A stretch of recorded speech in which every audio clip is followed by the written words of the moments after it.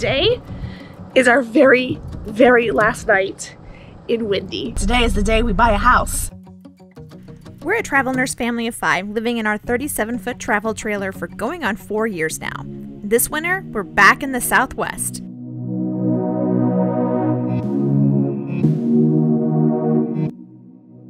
Welcome back to NOP. This week is an exciting week because phase one of our Phoenix plan has been completed. We own our own home. We have a home base officially in Phoenix, and we're so excited. Windy is parked right now in our backyard, and we're gonna give you an update on the trailer situation soon. But we are no longer staying in Windy. We, we are emptying her out and cleaning her out, getting her ready for a trade in right now. And today we're going to take you through the whole process of the house, and then we're gonna give you an updated tour later when we actually turn it into a rental home. Because remember, we aren't going to be here all year long. Our plan is to be here in the winter time for the one contract here, do all the home base things, and then move on to another contract. And yes, we are planning to take a different contract and rent this out uh, probably starting June 1st. John's contract has been extended to May 21st, so we have like a three month boot camp to get this place whipped into shape, furnish it, get it ready, figure it all out because we don't know what we're doing. So we're gonna get it all ready to rent out while we are gone. And uh, we're so excited to take you with us. We're on real time. This just happened this week, so you are in the know on real time. Can you believe this is my backyard? I'm so excited. Yes, I am fighting a cold. I have been fighting a cold all week long. It is not COVID. I've tested myself. It's not COVID. It's just probably a stress induced cold. And it has made the moving in process a little bit more daunting. There were a lot of steps that had to take place in order to get to where we are today. So why don't you come along with me a few weeks ago, several weeks ago, when we first placed the offer on this property? Another offer on the same house. Hey. Hey! That's the way the market goes. So fingers crossed. We hope we get it. We really like this house. Yep. You may remember this house from the video we aired a few weeks ago. It was one of the first ones we walked through, and we knew right away that we loved it.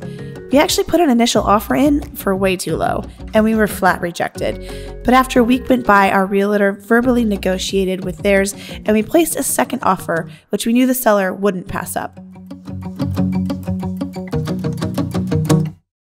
lived here years Well, ago. now if this isn't an omen, I don't know what. Oh, that's Well, so today is the inspection, um, and the way that they do it here in Arizona is the inspector goes to the house first, does a complete run through, and then invites you to come and walk through it with them. Um, so.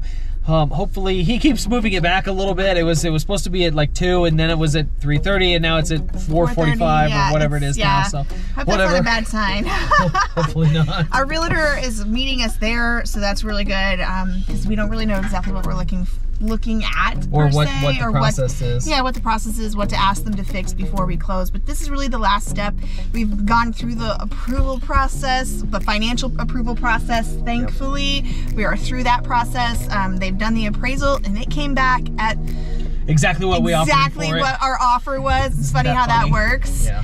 And uh, so this is the last kind of big piece of the puzzle, and we are hoping that we get to close early. Yeah, it'd we, be great if don't we know. close in like a week or two. It is vacant, so there's nobody that has to move out of it, and we're set to close March 1st, but we hope to get in it sooner than that. The house turned out to be in pretty great shape. It was built in 1978 but recently remodeled. The air conditioner was only a few years old, no structural issues, and only just minor things that we asked to be fixed. She declined them all but gave us a concession to fix them ourselves. This actually worked out really well for us as it allowed us to move our closing date up. We're still nailing down mortgage stuff.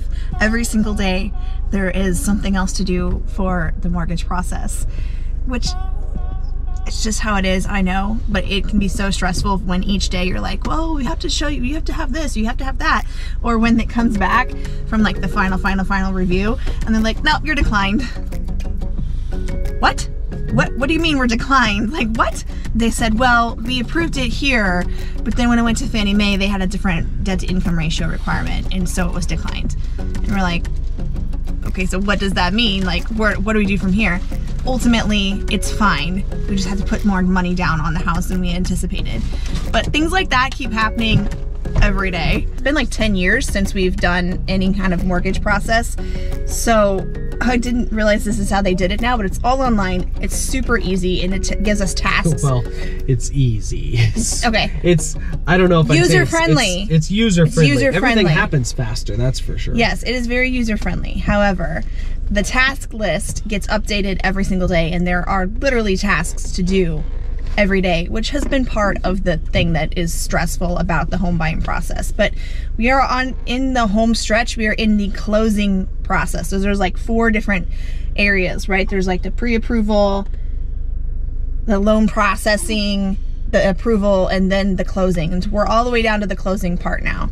So, whew, we're getting there. I cannot believe I am saying this out loud.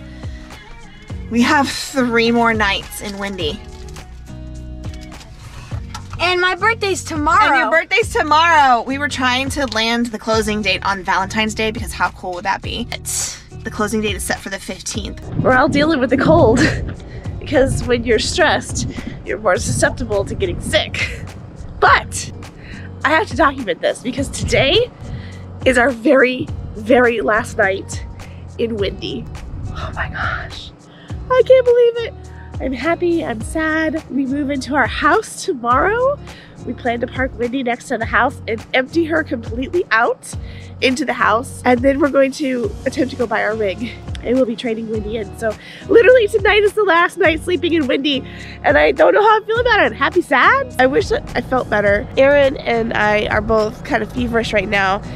And John was feeling crummy yesterday, but he's feeling much better now. So that gives me hope that tomorrow I might feel okay for the closing and for moving all of our stuff into our new house. Today is the day. Today is the day we buy a house.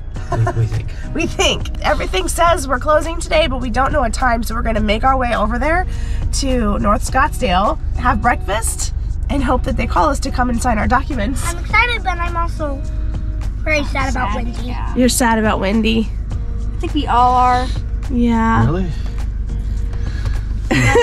Mom and Dad are like, we're not sad about Wendy. The kids are like, oh, Wendy, we grew up in Wendy. I'm not sad. We're still trying to get over this. All of us are trying to get over this.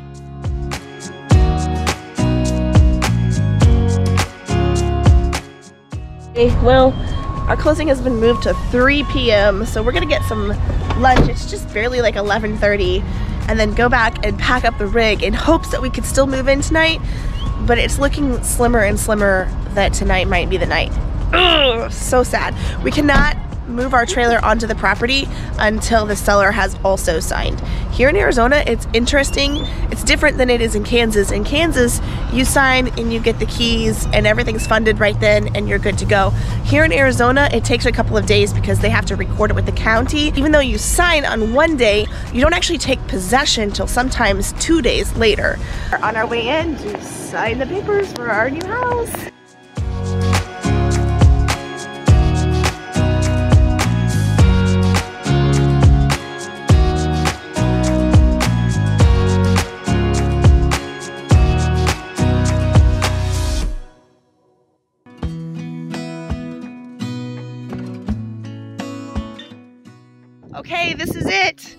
Nothing like driving into the sunset.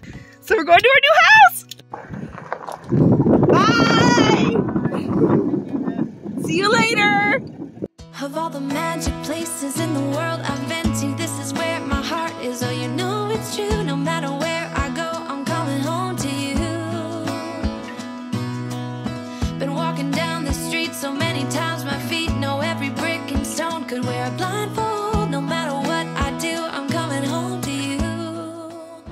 Okay, we have arrived in the dark because Farnsworth Life. We're gonna see if our slides open because it's pretty tight here. We're making an impression on the neighborhood right now.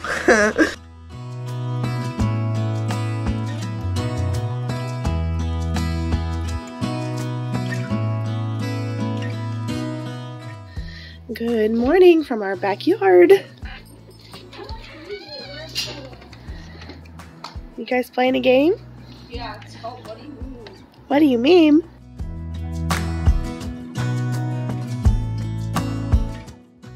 following us, you know that this is, like I said, phase one of our plan here in Phoenix. Phase two is to get a new toy hauler, and phase three is to get a new truck to pull said toy hauler. So we did, we have closed officially. This is ours, it's in the books, and we have submitted our financial documentation and, and application to the RV dealership who is holding a toy hauler for us. that we have already picked out, but we have not heard back on it yet. It is under review with their finance department. So we don't have any news on that yet, but we hope to share with you really soon on how all that's going. We are so thrilled to be homeowners again and residents of the Phoenix metro area. We look forward to coming back here every year and taking some downtime for ourselves and enjoying the desert around us. And we also look forward to what is to come in the future. We thank you for coming with us on our journey as we are real time right now. And we have no idea what's going to happen this week. So it's going to be a surprise for us too. So join us next week and we'll see you out there.